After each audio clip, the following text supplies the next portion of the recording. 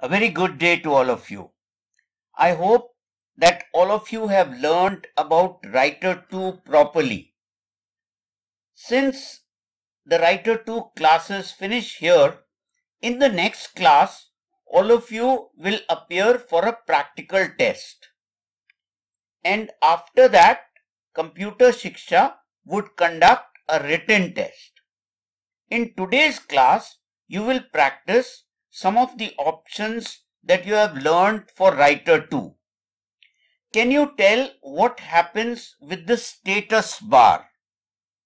Status bar shows the status of the page like on which page you are working, how many pages do you have, which language you are using, how much have you zoomed, etc.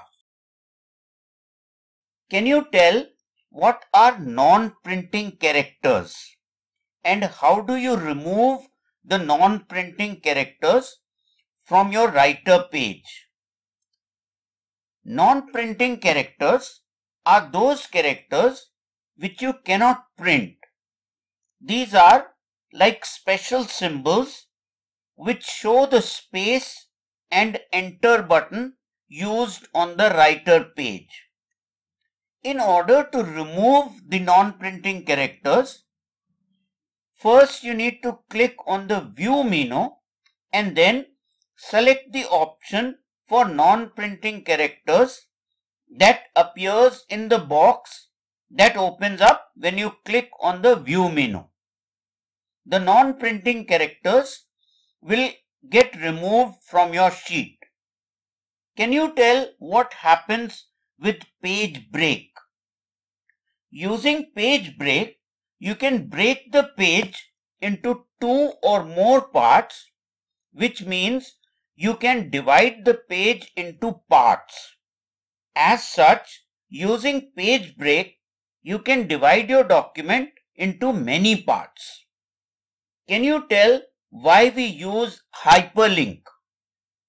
Using hyperlink, you can connect any file to your page with a link for the file.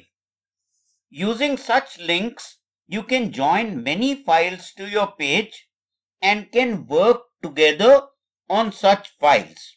If you want, you can even use internet to link documents to your page. Can you tell what happens with default formatting? With the use of default formatting, you can remove any formatting that has been done on your line or paragraph and can make it appear as it was originally. Can you tell what is a table?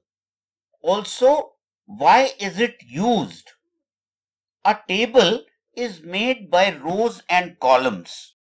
This looks like your maths notebook. Can you tell why we use merge cell? Merge means to bring together or to make one from many. We use merge cells to merge the contents of two or more cells into one. Can you tell why we use split cell? Split means to make into many parts or to separate one into many. So, using split cell, you can split one cell into many cells or we can say you can make many parts from one. If you want, you can split the cell horizontally or vertically. Now, switch on your computers and open your writer file. Have you opened the file or not? If not, then learn how to open the file using the method taught to you. You can open the writer file in many ways.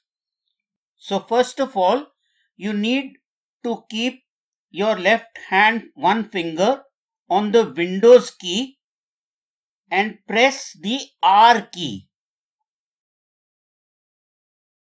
A run, a box opens which is the run window. In this, you have to, without giving any spaces, type out S writer.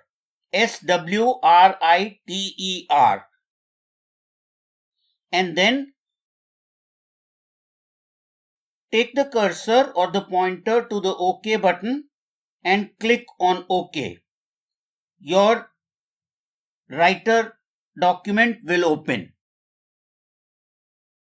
Let us now know what we will be revising in today's class. Now, you will practice using table options to view, insert and format. Can you tell what all you have learned in view, insert, format and in table menus?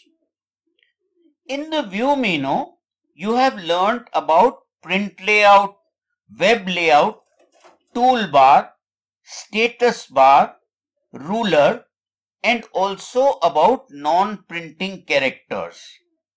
In the insert menu, you learned about manual break, special characters, fields, hyperlink and about header and footer.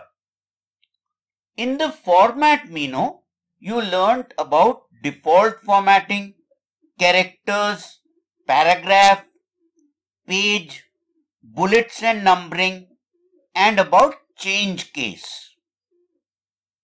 In the table menu, you learned about table insert, inserting rows and columns, use of merge cell and split cell, and about auto format. Have you opened the writer file? Now, now copy paste the given line 10 times ensuring that each line appears in a new line. If you face any problems in this, watch the video and learn from it. With the help of this video, we will once again practice the use of copy and paste. So once you have typed the line on your page, write a page, you have to select it to be able to copy it. So we first select the line to be able to copy it and you can use any of the methods that you have learned for selection. As is being shown in the video, we first select the line like this and now we can use the shortcut command for copy which is control plus C.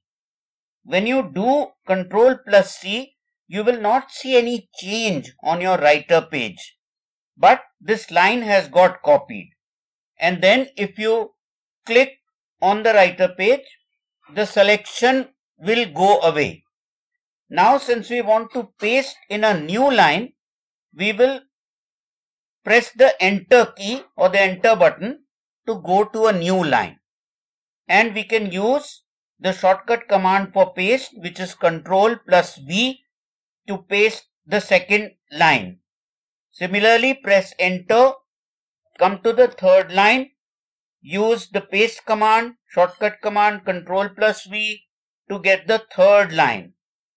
And then again press enter, go to the fourth line and so on.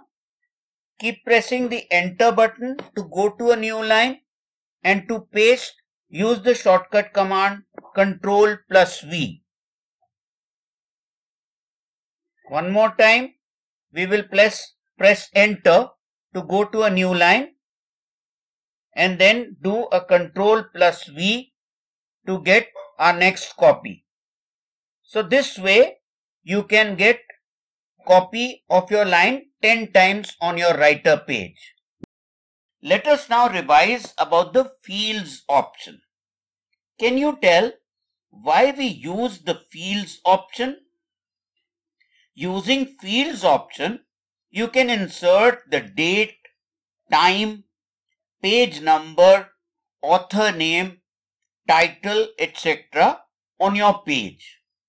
Now, show how you will insert today's date after the second line. If you face any problems in this, watch the video and learn from it.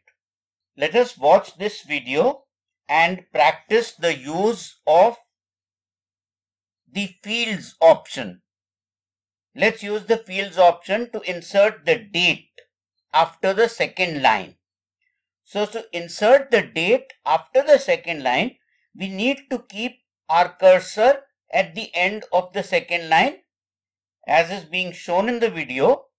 Then take your pointer to the insert option of the menu bar and click on that. Click on the fields option and then select the dates option and you will see that the date gets inserted at the end of the second line.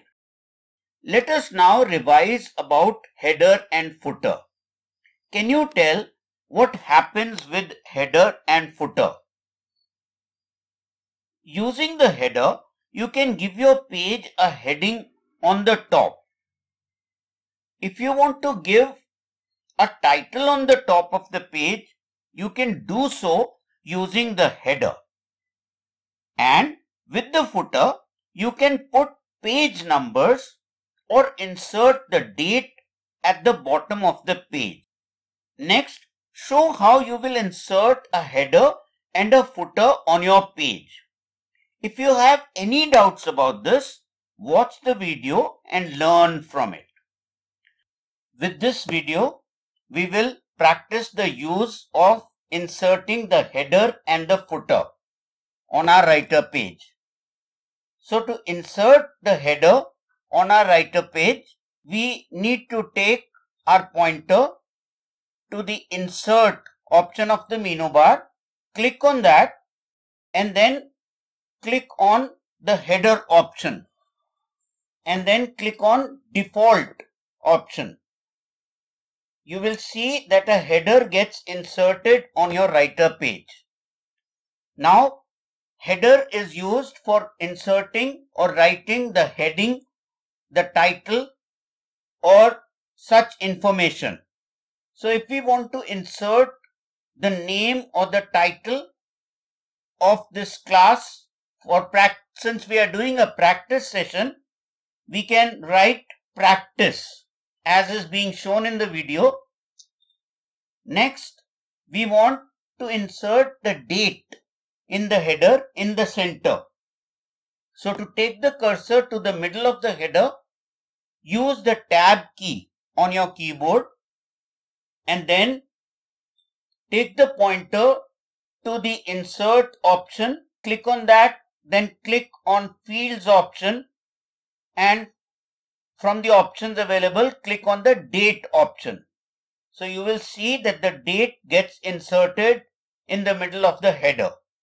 Next, if you want to insert the time in the header at the end of the header, then again you will use the tab option to go to the end of the header. Now to insert the time, take your pointer to the insert option of the menu bar, click on it, click on fields and then click on the time option. So you will see that the time gets inserted in our header.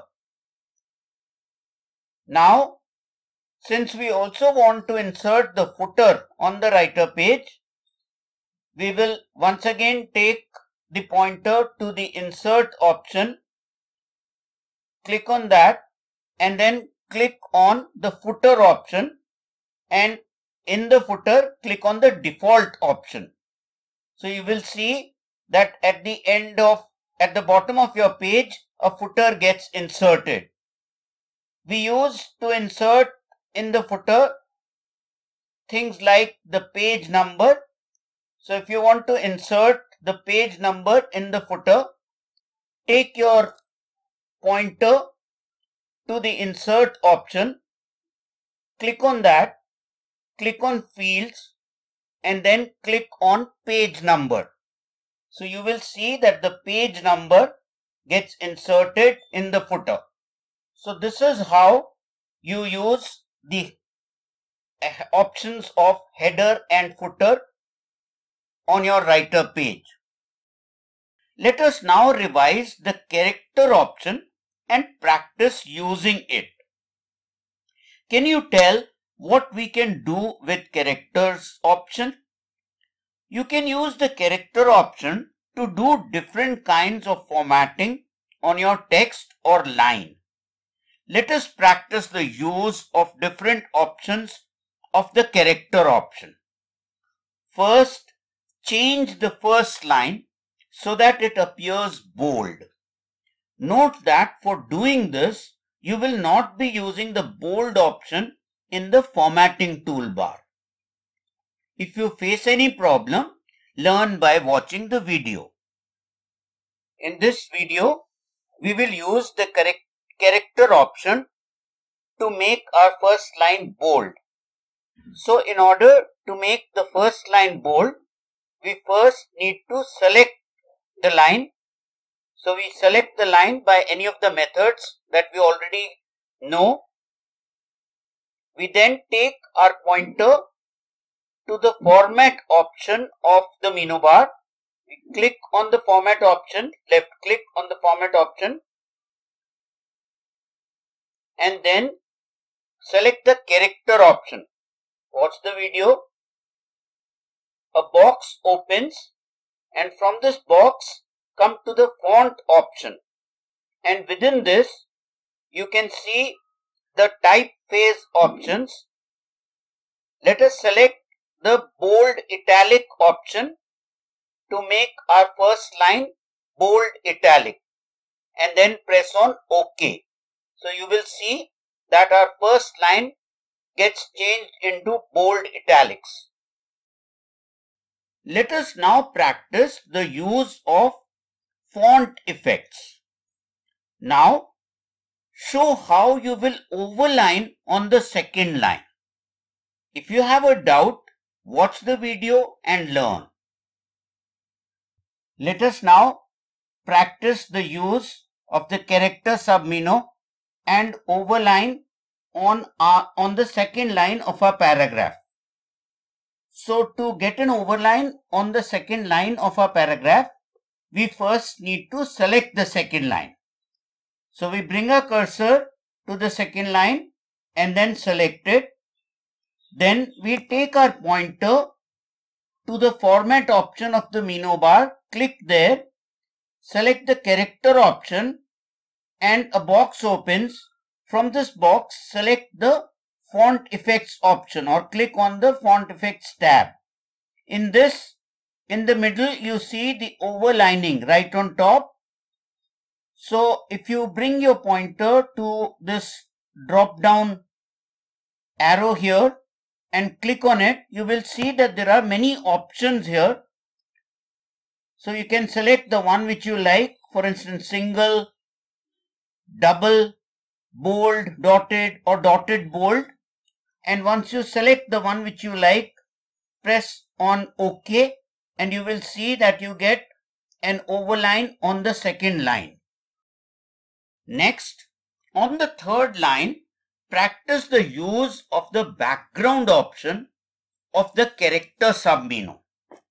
Also, tell what happens with this. In case of a problem, learn from the video. With the help of this video, we will learn to use the character submenu to change the background of the third line. So first, we need to select the third line as is being shown in the video. Select the third line. Bring your pointer to the format option of the menu bar. Click on that and then click on character option. Now from the box which opens, click on the background option. Once you click on the background option, you will see a number of a box opens where a number of colors are available. So whichever color you want to make the background of your line, you select that color and then click on OK. So you will see that with the background option, the color of the selected line's background changes. This is how you use background color. Now show how you can put a border on the fourth line. Again, watch the video in case of a problem. With this video, we will practice applying a border on the fourth line of our paragraph or the writer page. So since we have to apply a border on the fourth line, we first need to select that as is being shown in the video. Take our cursor to the format option and then select the paragraph option. From the box that opens, click on the borders option or the borders tab. You will see many options here. Since you want to apply on the fourth line, we pick set top and bottom borders only and then click on OK and you will see that on the fourth line on the top and the bottom you will get a line as borders. Next all of you insert a table and then show how you will make a sales list in it. After doing this, show your file to your teacher. Since we will be ending today's class now, close your file and properly shut down your computer. In today's class, all of you revised options of view, insert, format and table. These were things you had learned in the previous class. In the next class, you will have a practical test. After the practical test, you will all appear for a written test which will be of multiple choice type and you need to choose the correct answer. Thank you.